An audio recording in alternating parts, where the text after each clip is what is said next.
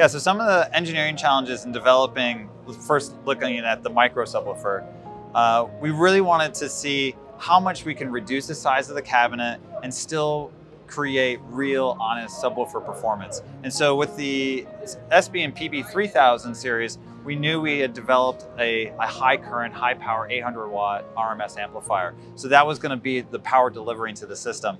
And then we knew that we, the only way that we could really capture that energy and put it into real low frequency extension was by developing an all new eight inch driver, putting two of them in, in this enclosure in a force canceling uh, parallel alignment.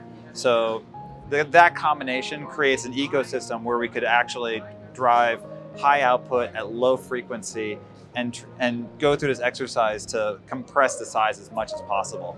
Um, among those challenges were also, how do we put that 800 watt amplifier in such a small enclosure? So the 3000 micro amplifier, the plate actually wraps fully from the back of the panel all the way underneath and that basically allows us to capture all of the, the thermal constraints and capture all the power output of that amplifier in the smallest possible enclosure.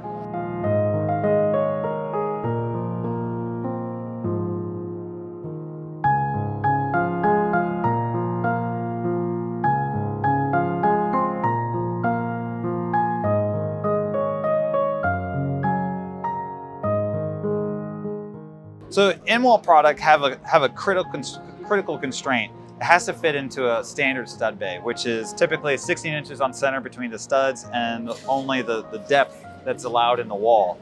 So in the case of a subwoofer, which really wants cabinet volume uh, to, to allow the drivers to make real low frequency extension, we really had to, to attack this challenge of cabinet volume in a different way.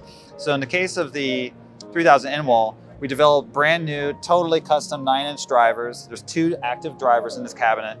And the enclosure is actually formed sheet aluminum on the front and rear panels. And that nets us and captures a lot of cabinet volume that would normally be lost if you made the whole enclosure out of MDF or, or some other material. And again, like the 3000 micro, we knew we had a fantastic power delivery system with the 800D2 amplifier. 800 watts RMS power to, to capture all of the SPL output and now with the cabinet volume, the low frequency extension to make a real subwoofer performance out of an in-wall subwoofer that doesn't take up the whole stud bay. Uh, it's actually totally retrofit friendly.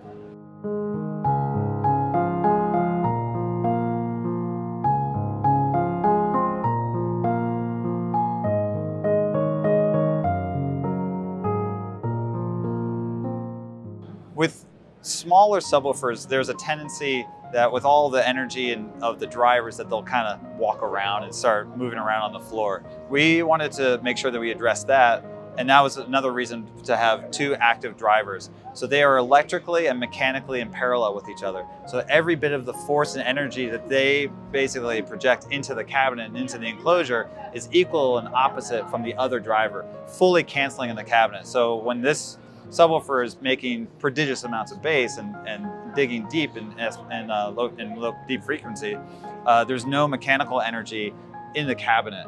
And so that keeps it rock solid on the ground and uh, basically feels like it's completely inert. In the case of the 3000 in-wall, we had to address that mechanical energy in a different way. So we took a lot of time to look at the, the damping materials inside, but also making sure that it's a fully uh, inert enclosure.